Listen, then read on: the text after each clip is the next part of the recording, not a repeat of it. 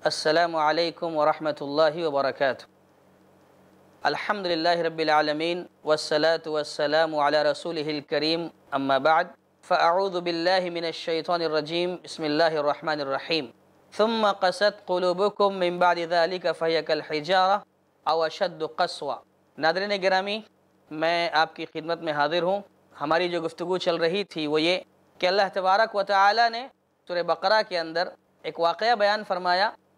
کہ ایک شخص کا قتل ہوا، اس کا قاتل کون ہے، کسی کو پتہ نہیں چلا۔ تو اللہ تبارک و تعالی نے موسیٰ علیہ السلام کو وحی کے ذریعے یہ واضح فرمایا کہ بنی اسرائیل سے کہو کہ ایک گائے لائیں، اس گائے کو ذبح کریں اور اس کے جسم سے گوشت کا ایک ٹکڑا لے کر کے مقتول کے جسم کو ٹچ کریں، مقتول کے جسم پر لگائیں۔ ایسا کرنے سے مرا ہوا شخص، مقتول شخص دوبارہ کھڑا ہوگا، زندہ ہوگا، قاتل کا نام بتائے گا، پھر مر جائے گا۔ بنی اسرائیل نے سوالات کیے طرح طرح کے، وہ گائے کیسی ہونی چاہیے، اس کا رنگ کیسا ہونا چاہیے، مختلف قسم کے سوالات کیے۔ بہرحال، شرائط کے بعد گائے لائی گئی۔ گائے کو ذبح کیا گیا، اس کے گوشت کے ٹکڑے سے مقتول کے جسم کو ٹچ کرایا گیا، مقتول کے جسم پر لگایا گیا۔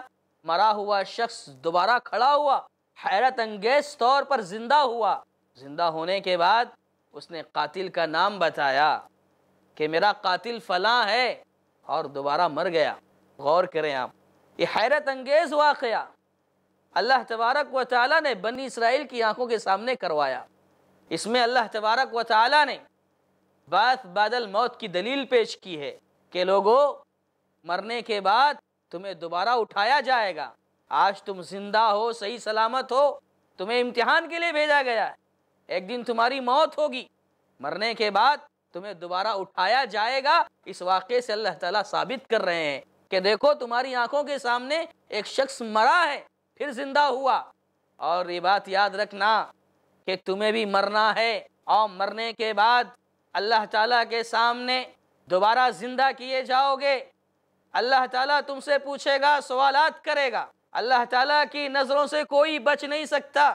وہ قاتل جس نے قتل کیا، اپنا نام چھپانا چاہ رہا تھا، مقتول کو کسی اور جگہ پر لے جا کر چھوڑ دیا، کسی اور کے گھر پہ لے جا کے لاش کو رکھ دیا، اپنا نام چھپانا چاہتا تھا۔ لیکن اللہ کی ذات وہ ہے جو ساری چیزوں کو ظاہر کر دے گی۔ سبحان اللہ وہ قاتل جو اپنے آپ کو چھپانا چاہ رہا تھا، اللہ تبارک و تعالیٰ نے اس کا نام واضح کیا۔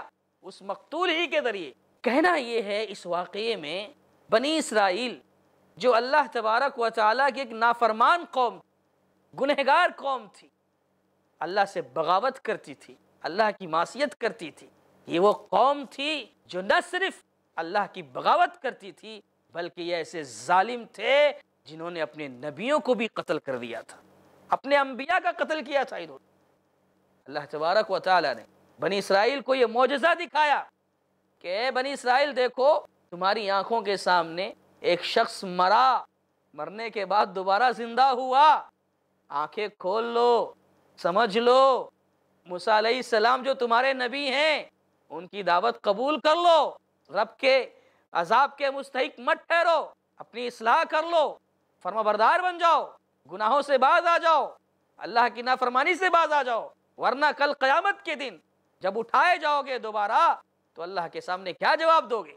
ناظرین گرامی، غور کریں، اتنا سب کچھ ہوا، آنکھوں کے سامنے عجیب منظر، مرا ہوا شخص، ایک لاش زندہ ہو گئی۔ اتنا عجیب و غریب واقعہ دیکھا، پھر بھی وہ بنی اسرائیل اللہ کی نافرمان قوم وہ ایمان نہیں لائے۔